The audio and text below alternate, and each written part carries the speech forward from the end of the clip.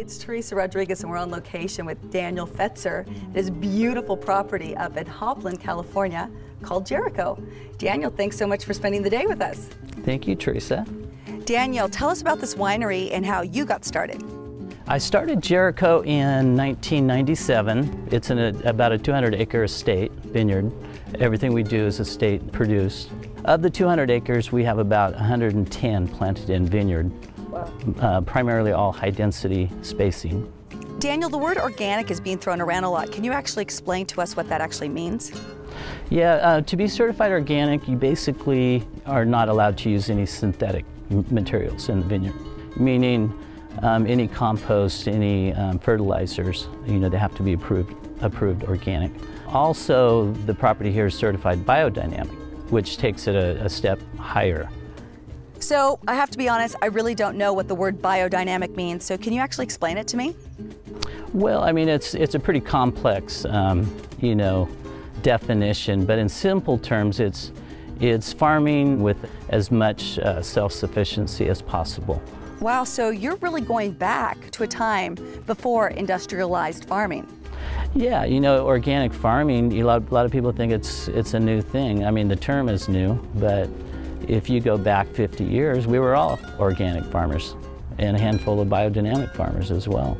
Yeah, you're right. There was always pests. So what you're saying to me is that there's a way of getting rid of them without pesticides? And that's what we do here. We, we plant cover crops. We we have geese, we have goats, we have sheep on the property, and you, you try and create as much diversity as, as possible. The goats and the sheep can um, maintain the cover crops in the winter. We also use the, the manure for composting and spread back into the soil. The whole idea on, on organic or biodynamic farming is balance. You, you have to have balance. And I think in commercial farming, we've gotten away from that. You come from a very long line of winemakers, so can you just tell us about your history? I come from um, the Fetzer family. Um, my, my father, Barney Fetzer, and my mother, Kathleen Fetzer, started Fetzer Vineyards in 1968 in Mendocino County. And he started Fetzer more as a um, hobby. He was a hobby winemaker.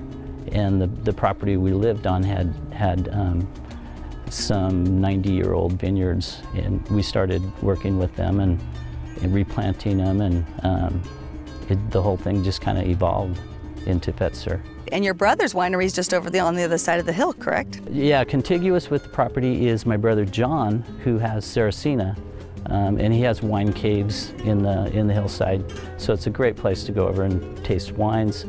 My sister Patty has a, um, a, a, vineyard called Patianna, um, does a fabulous um, Sauvignon Blanc. Uh-huh. Uh, my brother Jim is just over the mountain on Clear Lake and he has um, Ceago Vine Garden. So tell me what it was like to actually grow up in a wine making family. well, I was the youngest of the group and so um, I, I, spent a lot of time cleaning barrels and tanks uh, growing up. The romance is about skin deep. Yeah. Is there a little secret that you could tell us about making wine? Well, my, my father, he had a great saying. He said, you can make good wine from, from good grapes and you can make bad wine from good grapes, but you can't make good wine from bad grapes. So the, the moral of the story is, I, I think, the, the wines are actually made in the vineyard. You're also an architect, correct? I am. I, I, um, I don't have the credentials, but I have more of an art background. Okay, so tell us about that. Well, growing up with Fetzer, um, we were doing a lot of building in the winery. So I took over all the design and building of Fetzer Vineyards. And when I took over this property in 97, I expanded my creativity with uh, design in Jeriko. It's gorgeous. So you've got a villa on the property. Yep. Originally built in 1898 by um, a judge from San Francisco, Sturtevant. Uh -huh. And I remodeled it um, exactly 100 years later and kind of expanded on the architecture. When, when I took it over, it had more of a colonial influence, and so I expanded that into more of a California approach.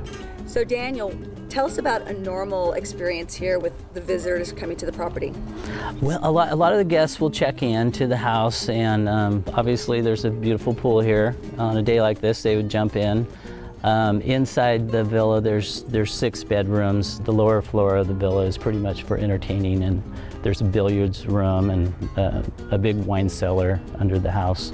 The kitchen has a um, wood burning Tuscan oven, so a lot of the guests will, um, you know, maybe take a walk around the, the estate, pet the goats and the sheep, and come back and maybe put together a, a pizza for the pizza oven. Okay, so I want to know, what's your favorite wine that you make here? I would have to say probably the Pinot Noir. You know, I, I love them all just like you would um, any of your, like your children almost. But uh, I, I think we do a great job with our Pinot Noir.